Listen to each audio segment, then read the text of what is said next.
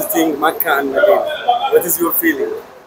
Makkah and Medina are different. Yes. Yeah. Makkah is good. ni- uh, war, uh, the weather is not the same as that one. Yeah.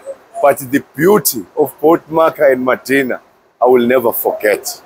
The warmth, the heart, the reception, everything. Saudi is the light, is my light.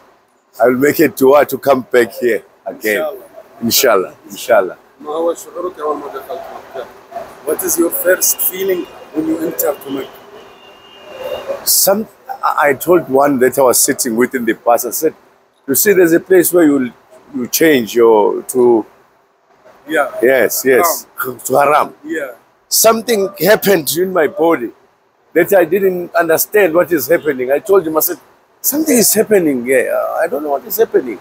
He said, no, relax.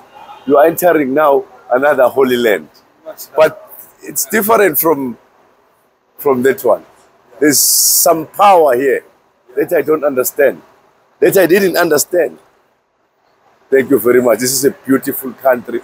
People, heart, warm. Thank you very much. You. The heart of the people, warm. Reception.